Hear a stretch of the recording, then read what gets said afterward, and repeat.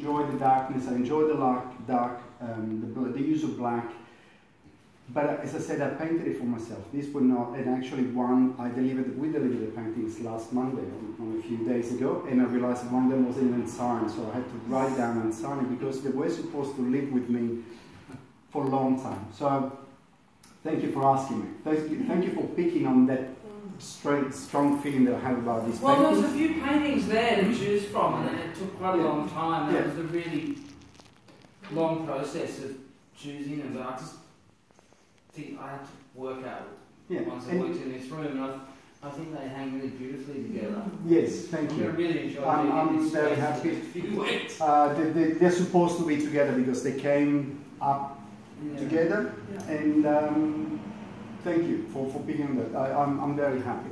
So yes, here are my paintings. First time outside a big city.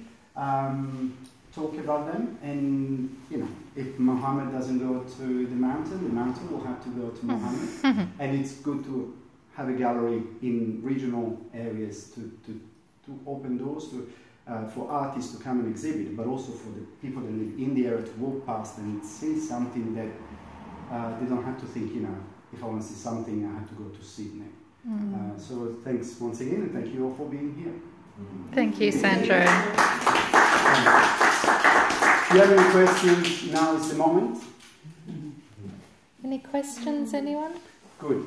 Yeah? Oh, one. When I first got here the other day, um, I started looking at these ones. I, I got emotionally involved with these particularly two, and that one because I know, I know it's a, it's a father-son connection, but that's I, I, I, got I, I actually got emotionally yes. involved with that. I'm glad you started seeing it as the as the connection between father son. Absolutely, absolutely. Um, father son. I'm going to give you just one short anecdote. When when our son was born uh, almost 15 years ago, and it was brought up in this trolley with this wrapped up like a little sausage and a beautiful.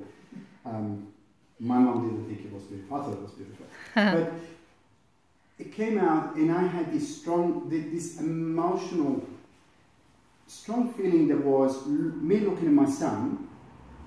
The first thing I could think of was that's how my father loved me. Only then I understood the love, the strength of my father's love for me, just looking at my own son. I thought, this is immense. I never felt this way. I never felt this love. And that's an emotion that keeps coming through my paintings all the time. The father and son, the father and son, the father and son.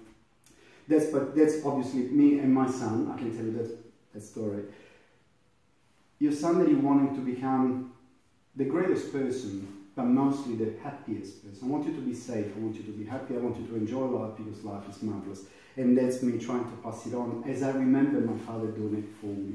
So I'm, I'm glad you pick on that. It's, um, it's a very strong emotion that I, I keep repainting. I used to paint before I had children, two children now.